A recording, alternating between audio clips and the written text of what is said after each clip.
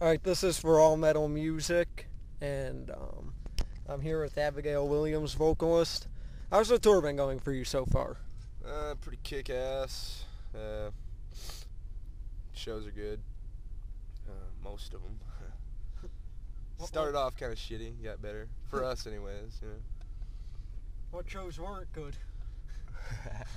no, it was just at the beginning of the tour. Uh, we had like a lot of hecklers, Uh, but yeah, we got we got past that, I guess.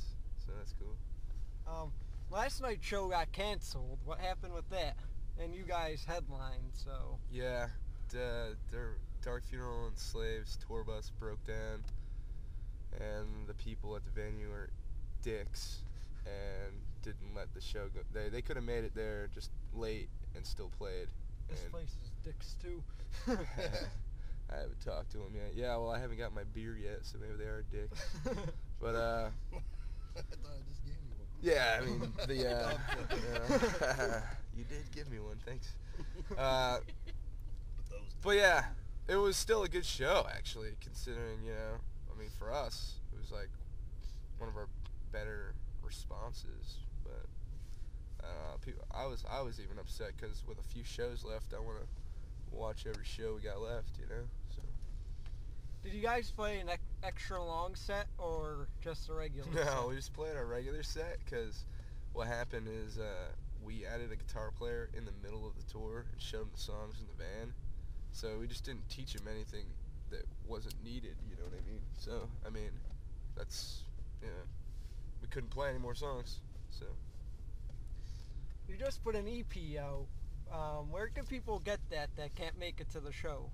I have no idea. I, it's supposed to be in stores, but uh, who knows? Because I've been on tour that, since it came out. You're supposed to be able to buy it in stores. If not, you could buy it, buy it from Candlelight or something. That's a weird question because I actually have no idea yet.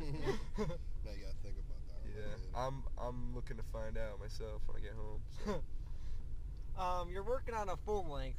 How's that coming along? Uh, it's good. It's doing good. We uh, when we get home, we're gonna complete it, and it'll probably be out by September. The material's a lot more uh, intense. The songs on the EP are pretty old. Been playing them for a year and a half now. So Is the new guitarist gonna be playing on that album? yeah, yeah, Will the full length be available in stores like Fye or? It'll be available everywhere that it's gonna have the same distro of any other Candlelight CD like Emperor or Enslaved or Dark Funeral, what have you. So it should be available pretty much wherever. Are all the songs on your set from the EP or any from the upcoming full length? Uh, the only one that we're we're probably gonna pl- use on the full. We're actually gonna use one of the same songs possibly from the EP, just because it was just uh, it's an early version on the EP, and we just wanted to do it a lot better. That's uh, Watchtower, but the songs on, that we play in the set, one of them's not even on the EP because it's even older than that. but kids wanted to hear it, so we play it, and then we just play EP songs.